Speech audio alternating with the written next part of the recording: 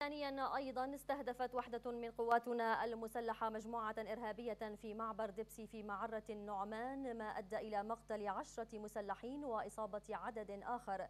هذا فيما واصلت وحدات من قواتنا المسلحة استهداف وملاحقة تجمعات وفلول الإرهابيين في الخالدية وباب هود والورشة وجورة الشياح والحميدية موقعة أعدادا كبيرة من القتلى والمصابين في صفوفهم. وقال موفد الدنيا إن وحدة من قواتنا تصدت لمجموعات إرهابية حاولت الاعتداء على قرية القميري في تلكلخ بريف حمص وأوقعت عددا من القتلى والمصابين بين أفرادها.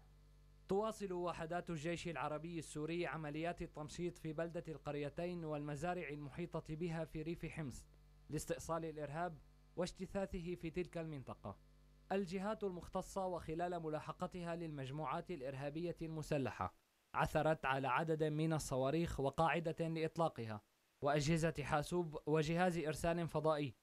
عمليات التمشيط في المنطقة أسفرت أيضا عن العثور على مستودع للأدوية الطبية.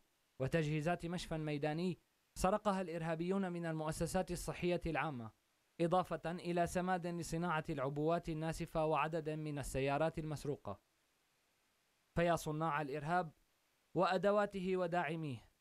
احرصوا دائما وتذكروا بأنه مهما تعاظم إرهابكم وكبرت أدواتكم وقتلكم وخرابكم فإن حماة الديار رجال الجيش العربي السوري سيقطعون يد كل من تخول له نفسه المس بشبر أو ذرة من تراب الوطن.